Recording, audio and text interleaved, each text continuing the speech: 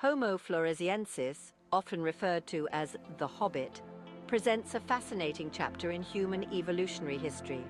These miniature humans, standing approximately three and a half feet tall, were first discovered in 2003 in Liang Bua, a cave on the island of Flores in Indonesia.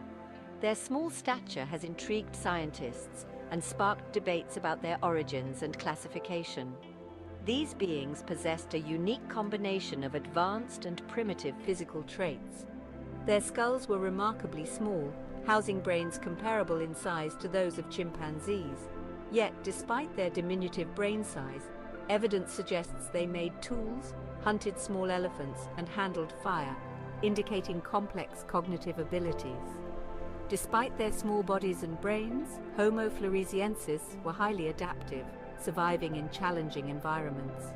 Their discovery challenges traditional views on the necessary brain size for complex toolmaking and survival strategies in ancient human relatives. Homo floresiensis thrived in a distinct and isolated environment on the Indonesian island of Flores. This island's unique ecosystem shaped their evolution, the dense forests and rugged terrain provided both protection and challenges, influencing their physical and behavioral adaptations. Their diet was primarily composed of meat from small animals, including the now extinct pygmy elephant Stegodon, and various plants and fruits available in their forested habitat.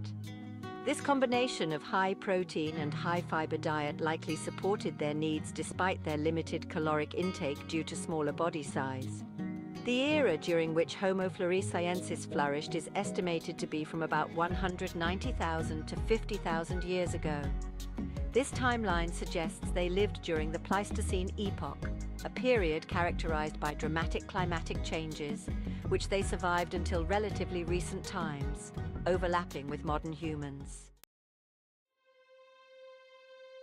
The extinction of Homo floresiensis around 50,000 years ago marks a significant point in human history. The reasons behind their disappearance are likely multifaceted, involving climatic, ecological, and possibly competitive pressures from other species, including modern humans.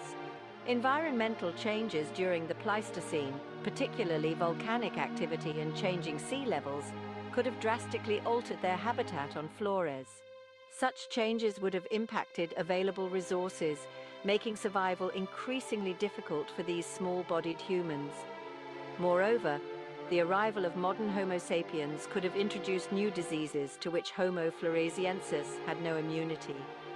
Competition for limited resources might also have played a role in their extinction. The exact dynamics of these interactions remain a topic of ongoing research and debate.